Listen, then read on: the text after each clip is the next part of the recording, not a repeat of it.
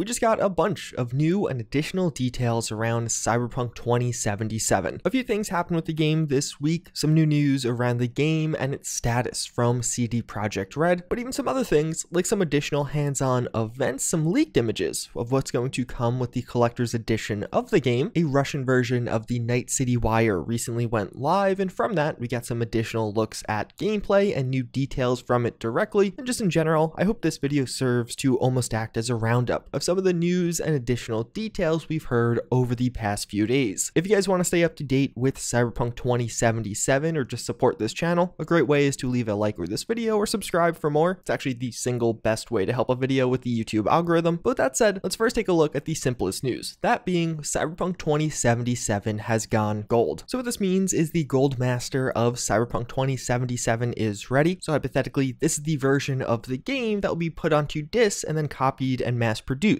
So November 19th, when you open your game, you'll have this version. Now, of course, work is likely not stopping. In reality, what we're going to be seeing is a day one patch or some additional updates internally, but the big takeaway is the game is complete. This 100% confirms that no additional delays are on the horizon because if they've made it to this stage, it means the game is ready. Another pretty interesting aspect of this to get excited for is it does mark one additional milestone towards reviews or media hands-on for this game. We of course saw media hands-on earlier in May, and actually we're going to hear a bit more about that later in this video, but full-on reviews or complete access by media is something to get excited for, and CD Projekt Red tends to be pretty good with this. With The Witcher 3, reviews for that game originally dropped six days before the game's release, and we'll likely see something similar with Cyberpunk. It has been discussed in some of the recent conference calls that reviewers should get the game a few weeks before release, and reviews will drop a week before release. So hypothetically, in just a few weeks from right now, reviewers could have their hands on this game, which is pretty exciting, because of course they're going to need some time to play the absolute mammoth of a game that Cyberpunk 2077 is looking to be. Although do know there'll probably be NDAs, it's not like they could just share all the details. Outside of that, we actually got an image of some Militech stuff on fire, relatively minor thing, but it looks pretty cool, so I wanted to highlight it. But one of the other big things to happen with Cyberpunk 2077 is the Russian Night City Wire. Just last week, we saw the Tokyo Game Show version of Night City Wire, that of course being in Japanese, and at TGS we got quite a bit of new gameplay. A lot of that gameplay was also shown during the Russian Night City Wire, but one, it's way higher bitrate, so just in general it looks better, but also actually looks better. Something I noticed while watching the Tokyo Game Show version of Night City Wire, it just looked weirdly washed out. Like it was definitely a huge improvement over 2018, but now comparing 2018 to the Tokyo Game Show to the Russian Night City Wire, you can see that Russian version definitely looks pretty phenomenal. Again, partially because a higher bitrate stream, but also it definitely looks like the lighting is a bit better. Unfortunately, none of this gameplay was new. It technically is new in that it is filmed on the Russian version of the game, but it's all scenes and segments we've already seen in the past, but we did get some new details. During Tokyo Game Show, we heard how Saburo Arasaka, this character, would only speak Japanese no matter which version of Cyberpunk you were playing, but it seems like this will extend to other characters also. The Scavengers Gang will only speak Russian. Reportedly, there's two characters to arrive in Night City from the USSR on a diplomatic mission, and they will also only speak Russian, and even there's some characters that will only speak Creole. Of course, in game, this will be translated to us, but the character themselves will be speaking in a different language regardless of which version of the game you're playing. So some characters will only ever speak one language, and I for one actually think that's going to be really cool. We also hear that thousands of hours of dialogue was recorded solely for the ambiance of the city. So miscellaneous exchanges between NPCs just on the streets, whether it be cleaning up, arguing with one another, or something else. Something else we saw pop up online is what is technically a leak of some of the physical edition contents. So some things that will come when you buy a physical edition of this game, like a map and a couple of postcards. But this happens to be one of the best and most detailed looks we have at the complete map of Night City. It of course isn't the highest res, but it does give you a pretty nice overview of the city overall. You can see the Space Center has made a return. In one of the past trailers, the Space Center was ominously missing from a render of Night City, but it is on this official map, so it seemingly will be in the game. In the past, there's actually been some rumors that there will be a moon mission in Cyberpunk 2077, but of course, none of that's confirmed. There's been some discussion that the map in general looks small. We've heard in the past that the map is technically slightly smaller than the Witcher's 3 map, but of course, significantly more vertical. Even just looking at some of the gameplay, there are many floors to many buildings, a lot more density in this map. And to those people saying this map looks very small in comparison, one comparison I offer to you is actually the map of Los Santos. You've probably explored Los Santos, and it is a pretty sizable game world, but just looking at the map, it definitely feels a lot smaller than it really is. I'm pretty sure the scale of Cyberpunk 2077's Night City will blow many of us away, and I don't know if this map is the best reference to go off of as far as how big it's going to be. And there are also some postcards shared with this. Although taking this news together, we do enter into an interesting point for Cyberpunk 2077. As I mentioned earlier in this video, the game has gone gold, we do have a leak I'm covering right here, and as this game starts to get shipped to reviewers and hands-on does expand, as there's likely going to be a ton of review copies out there just based off the interest this game has alone, I wouldn't be shocked if more or additional leaks start to become a problem, just from people playing this game. A reviewer tells one of his friends, oh, I did this cool thing, that gets spread, and suddenly you see posts on Discord claiming certain things. I don't really have more to say on that, it's just a thought to have. This is something that may start to happen more and more as we approach the final release date. Something else that's pretty interesting, we saw two new ad spots for Cyberpunk 2077.